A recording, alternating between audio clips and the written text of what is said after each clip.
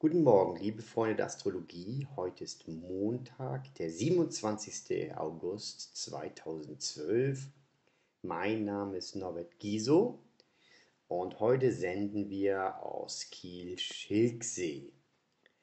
Ja, wie schaut es denn zu Anfang der Woche aus? Wir haben die Sonne jetzt auf 4,5 Grad Jungfrau bereits.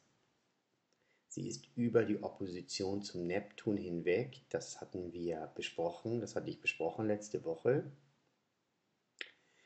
Wir sehen den Mars inzwischen auch schon auf zweieinhalb Grad Skorpion. Auch das hatten wir besprochen.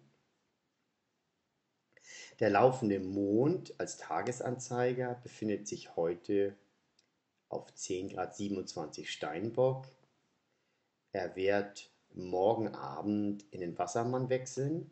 Im Steinbock, wenn der Mond im Steinbock steht, ist es eine gute Energie, eine gute Voraussetzung, um zu arbeiten, seinen Zielen, auch seinen langfristigen Zielen näher zu kommen.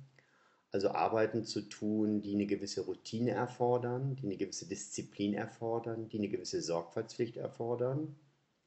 Andererseits tut man sich mit dem Ausdruck der Gefühle beim Mond im Steinbock nicht so leicht, sodass, wenn es um Kommunikation geht, die auch emotionale Grundlagen hat, dann sich besonders gründlich ausdrücken.